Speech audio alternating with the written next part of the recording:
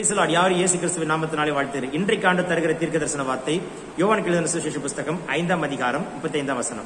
அவன் எரிந்து பிரகாசிக்கிற விளக்கா இருந்தான். நீங்களும் சில காலம் அவன் வெளிச்சத்தில் களி கூற இருந்தீர்கள். அவன் எரிந்து பிரகாசிக்கிற விளக்காய் இருந்தான். யாரை குறித்து சொல்கிறார்? யோவான் ஸ்நானகனை குறித்து சொல்கிறார். நம்மளை குறித்தும் பரலோகம் சாட்சி கொடுக்கணும். எரிந்து பிரகாசிக்கிற விளக்கு. பிசாசு அணைக்க முடியாது மந்திரம் அணைக்க முடியாது சூரியன் அணைக்க முடியாது.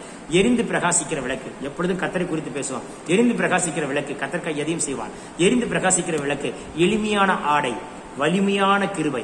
எரிந்து பிரகாசிக்கிற விளக்கு எளிமையான ஆகாரங்கள் மகிமையான வார்த்தை. எரிந்து பிரகாசிக்கிற விளக்கு உங்களை கத்தர் அப்படி வைப்பாராக. நெறிந்த நாணலை முறியாமலும் மங்கி எரியிற தீ அனாத கத்த சொல்கிறார். உங்களையும் என்னையும் எரிந்து பிரகாசிக்கிற விளக்க வைக்கிறார். யோகன் ஸ்நானகனை அப்படித்தான் வைத்தார். அநேகருக்கு ஞானஸ்நானம் கொடுத்தார். ஸ்தோத்திரம்.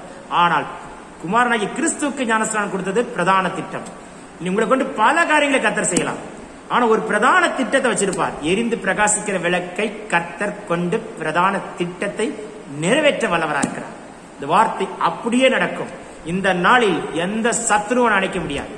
எரிந்து பிரகாசிக்கிற விளக்குனா உடம்புல ஆவியில ஆத்மா சரீரத்துல ஒரு வியாதி விளைவின விக்கணும் தொடாது. உன் ஆவியும் அப்படி இருக்கும் எரிந்து பிரகாசிக்கிற விளக்கு. உன் ஆத்மாவும் எரிந்து பிரகாசிக்கிற விளக்கு. உங்க சரீரமும் எரிந்து பிரகாசிக்கிற விளக்கு. அப்படி ஒரு மகிமை மூடி இருக்கும். முகத்துல ஒரு பிரகாசம் விவதிக்கும் கத்தர் அந்த கிருபை நல்லா இருப்பாராக take it receive it in Jesus mighty name Amen, amen, God bless.